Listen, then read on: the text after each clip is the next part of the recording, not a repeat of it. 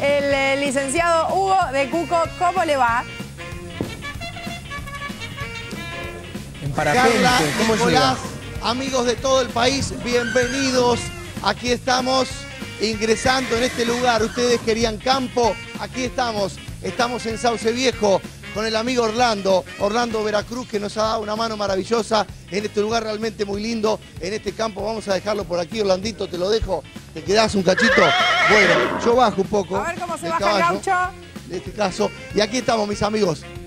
Ahí está, ahí está, ahí está, ahí está, mis amigos. Bueno, en este día del maestro tan especial, el saludo y por supuesto el recuerdo de mi vieja, le mandamos en algún lugar, nos está mirando, y también a todas mis tías y a mi familia, que son muchos de ellos maestros. Aquí estamos, amigos, estamos en Sauce Viejo, en un lugar que queda realmente muy cerquita de la capital provincial, de la ciudad de Santa Fe. Estamos a 22 kilómetros, en este lugar donde se pueden ver lugares como este que tenemos aquí detrás, que es un bañado realmente maravilloso. Y ahora les voy a contar un poco esta historia, porque allí detrás está el río este, Coronda. ¿Me escuchan bien, Nicolás, Carla? ¿Me están recibiendo? Perfecto, te escuchamos. Sí, se envidia, ¿eh? En ese lugar. Bueno, Se envidia su este, tarde. está, sí, estamos en un día maravilloso, en un día realmente muy lindo, un, calorcito agradable, cuando uno está al sol inclusive está bastante fuerte, pero les comentaba de esta localidad que ha ido creciendo día tras día, año tras año y con el correr del tiempo. Tiene aproximadamente 12.000 habitantes permanentes. Y digo permanentes ¿por qué? Porque dada la cercanía que tiene con la ciudad de Santa Fe y con otras ciudades de, gran población, lo que ocurre con este lugar es que mucha gente viene de vacaciones, viene a descansar, fin de semana largo, fin de semana, es decir, que casi casi se puede llegar a duplicar la población cuando hay este, temporada, por ejemplo, de verano. Es un lugar que tiene una historia realmente particular, es un lugar que tiene muchos años de historia, pero hay que remontarse a 1891 por ahí para recordar la historia oficial. Aquí fue cuando llegó el ferrocarril. En ese momento, por aquellos años, cuando estaba terminando el siglo XIX, el ferrocarril cubría el 25% del país y empezaba a expandirse y empezaba a crecer y a formar ciudades, a fundar ciudades, porque el ferrocarril ha logrado esto, fundar ciudades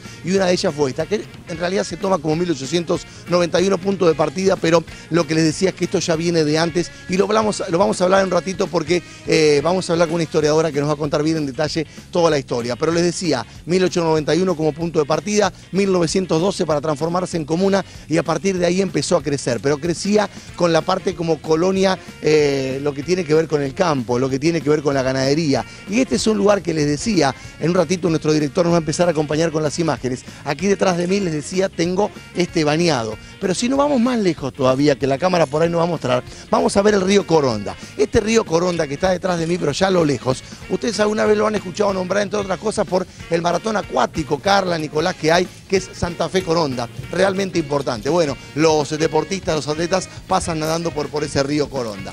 Bueno, me dicen, cuenta la leyenda, que alguna vez creció tanto que el agua llegó hasta acá, pero dicen que fue apenas solamente una vez. En la década del 60 esto empezó a crecer, empezó con fundamentalmente las empresas y la- las constructoras automotrices y empezó a poblarse mucho más y cada vez más como es la historia actual. Tenemos mucho para compartir. Hay cocina, mis amigos, hay comida. Tenemos hoy un cordero, tenemos hoy un pescado, nos van a contar cómo se prepara en este lugar el pescado. Vamos a hablar de historia y lo vamos a tener Orlando, que nos ha recibido en su rancho de una maravilla espectacular. Orlando Veracruz, que además va a estar repasando sus éxitos, nos va a contar sus anécdotas, nos va a contar muchas cosas de su vida, mis amigos. Bienvenidos a todos. Como siempre les digo, ajustense el cinturón de seguridad que empezamos. Esto es Vivo en Argentina, para todo el país y para todo el mundo. Dale.